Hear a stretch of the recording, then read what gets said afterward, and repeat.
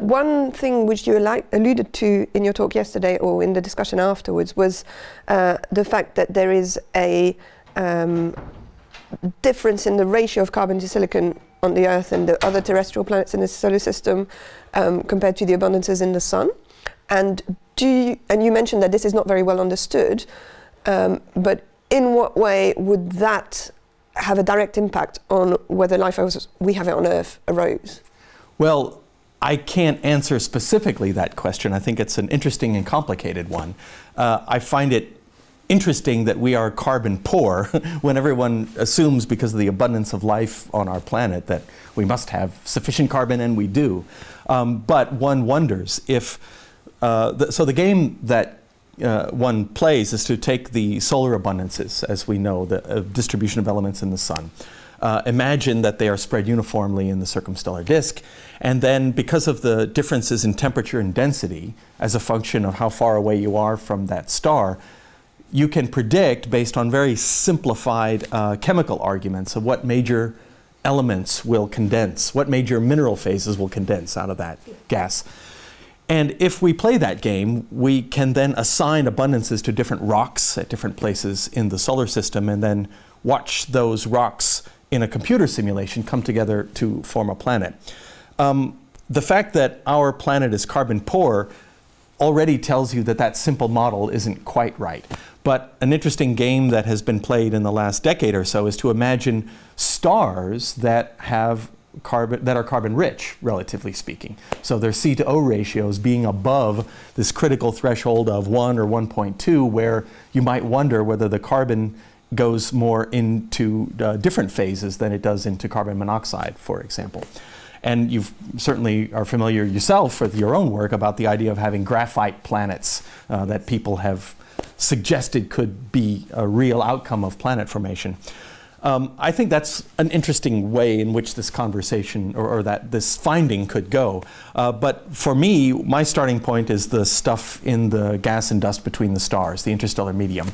Um, these carbon phases are rather robust and they're rather hard to destroy.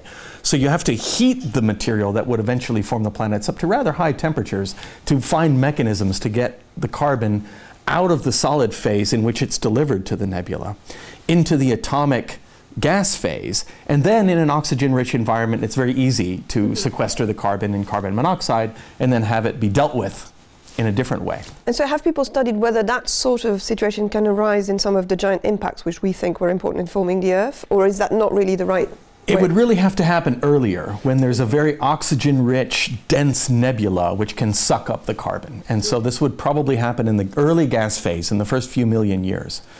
And there can be chemical pathways. Uh, Hans Peter Gail in Heidelberg uh, has come up with a, a kind of a combustion mechanism whereby carbon-rich solids can be attacked, if you will, by OH radicals. And a chemical process, not unlike burning, can result in the liberation of carbon, which would then, the carbon atoms would then float into the oxygen-rich sea, find a partner, and go into carbon monoxide. Um, that process starts to become efficient at about 800 Kelvin. And so you might imagine in a circumstellar disk around a young forming star with a protoplanetary disk, a zone where this could happen. And you might see a bump in the carbon monoxide abundance at the place where this process is efficient at the distance of about 800 Kelvin. We have techniques through molecular spectroscopy to look for this. We don't resolve at the very inner edges of the nebula at the spatial physical scales of one astronomical unit, the mean distance between the Earth and the Sun. We can't see that even with our largest telescopes, take pictures of that. But what we can do is take spectra, mm -hmm. getting velocity information of the molecules, and if we could see the characteristic red and blue shifted parts of those gas uh, molecules in the disk, you would see this characteristic feature at just the right Keplerian velocity, which would tell you what physical spatial resolution that was, and that would be a real interesting clue as to where this process was going on that was getting rid of the carbon for you. And so if we, taking the perspective of somebody who observes exoplanets, if you were to observe an extrasolar planet, um, is there a way that you would be able to look for um, such uh, carbon poor planets? I mean, I know that people have attempted to measure the C to O ratio of gas giant planets um, from spectroscopy of their atmospheres, um, it's a very difficult thing to do with the kind of instrumentation we have now. I think with James Webb, the James Webb Space Telescope, it will become more robust results. I wouldn't, at the moment, I don't think we have actually measured that ratio in any meaningful way in any planets. Um, but is, are there any other observational tests that you can perform? Well, I think as you know, and you mentioned this yesterday in your presentation, that the, the, you know to get a bulk density, there's a million or infinite number of ways you can come up with the same bulk density. So you ha one has to come in with very strong prior assumptions, grounded in geochemistry and geophysics of what you think the major mineral phases would be even in the Earth, there's some missing light element, and it could partly be carbon, in fact. So it, it's fair to say that we cannot, with 100% certainty say we know exactly the carbon abundance on the Earth anyway. So I think the ability to sort of diagnose what you know, carbon depletion you would see in other uh, terrestrial-like or rocky planets around other stars is beyond the pale for the moment. But it's certainly something, you know, because we have the, the solar system as our good example now, we can try to understand what those processes are and then look for the evidence of those processes, at least in protoplanetary disks. So that's kind of a starting point. Uh, another element of the, the early formation process that I find very interesting is this idea that volatile rich solids that form well beyond the ice line certainly migrate into the inner circumstellar disk. And when they cross the ice line, they're very likely to give up some or all of their volatiles back into the gas phase. Yeah. So some of us have been looking for the signature of a very wet uh, inner nebula. Mm -hmm. And there's some preliminary evidence that that could be the case around some young stars. But again, the James Webb Space Telescope will give us the spectral resolution we need to disambiguate uh, uh, confused molecular lines. Water has an unbelievably complicated spectrum. And at the low spectral resolutions we had access to with the Spitzer Space Telescope some years ago, multiple features would appear in a single emission line bump. And you couldn't then make a proper model that you could uh, clearly derive the column density of water. But with the new spectral resolution of James Webb, right. we'll be able to see all the individual water lines. We won't get the velocity resolution I was talking about a few moments ago, but we will avoid the line confusion problem mm -hmm. at high enough spectral resolution. And this should enable us to derive robust water abundances. Um, that to me is interesting in the, in the context of how volatiles can survive on forming embryos in the inner nebula.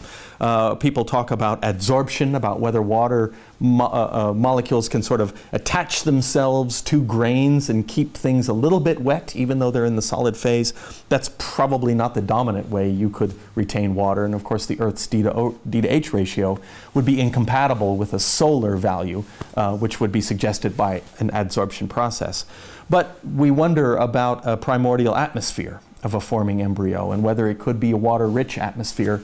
Yes. And under certain circumstances, some of that water could uh, uh, be incorporated into the mantle and perhaps survive, at least in part, some of the dynamics and the giant impacts which would ultimately lead to forming an Earth. Yeah, I remember seeing a talk by uh, Linda Elkins-Tanton, who came and visited, and he talked about exactly this process. Yes, exactly. And so we, we still wonder about primordial atmospheres, how much erosion uh, one suffers through the planet formation process, and then the delivery of water from beyond the ice line due to small, wet, uh, rocky asteroids that's probably responsible for most of the ocean water that we see today. That's probably actually something worth mentioning is that the, um, none of the planets that we look at today, um, the atmospheres that they have today are not the atmospheres that they started out from. So that's perhaps something that most people don't realize, that uh, the atmospheres, the primordial atmospheres of terrestrial planets are generally lost to space very quickly and replenished from the interior.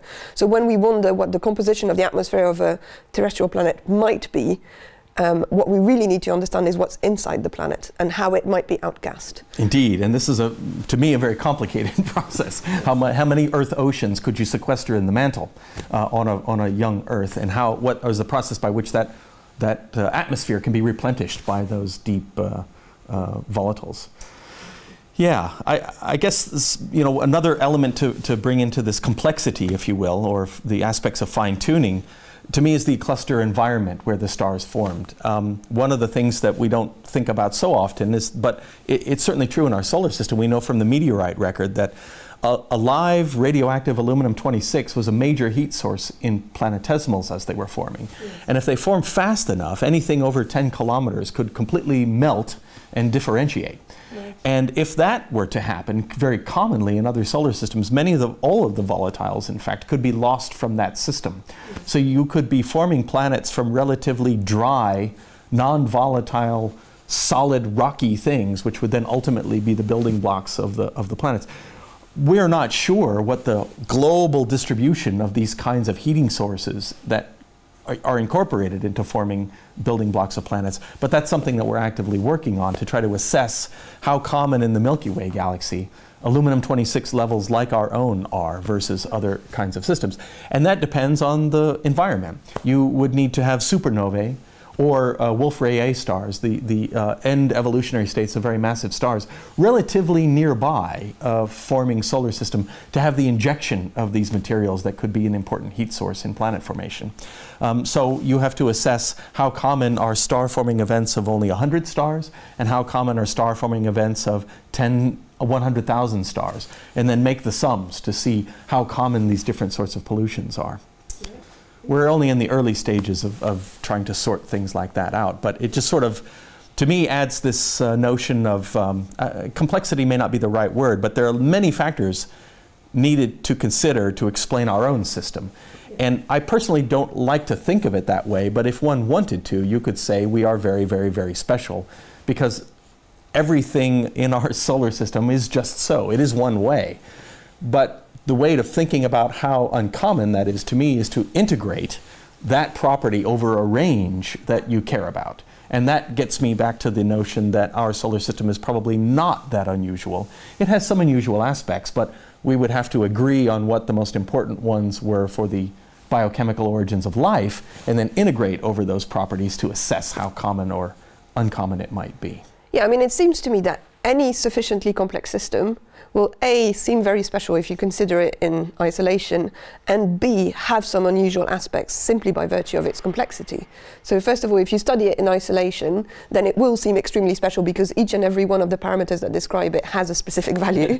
and then the other fact is, even if you try and compare it to multiple other systems of the same kind, if you have enough different parameters, then it's likely that one of those parameters will be outside the sort of, you know, three sigma limit exactly. of, of, the distribution. So something had to happen in every element of these five million parameters that we might look at. But that doesn't mean it's uncommon. Um, but I mean, if we look at the demographics of planetary systems um, insofar as we've probed them so far. Um, I would say that the notion that the solar system is unusual has been losing credence. If you just look at um, the frequency of Jupiter-like planets around Sun-like stars, um, the frequency of terrestrial planets in the inner regions of planetary systems, um, all of these factors we're starting to discover are not that rare. We're not, I, I, would say we're not yet able to test how common are systems which have both giant planets at few AU and terrestrial planets in the inner regions because we can't actually detect those kinds of planets around the same stars with the methods we currently have. Um, but all of this suggests, compared to what we were thinking about the same question maybe 10 years ago, actually we seem to be starting to think that not to say systems like our own are common, but they're not extraordinarily rare. Um, I'm not sure if that's even a very interesting question to ask in the sense that we don't know that the system needs to have an architecture similar to our own for life to arise, for example. Indeed. But certainly it would have been interesting to find that our system had a particularly unusual architecture. I don't think we're in a position to answer that question yet, even though we've learned a vast amount about the incidence of various kinds of planets.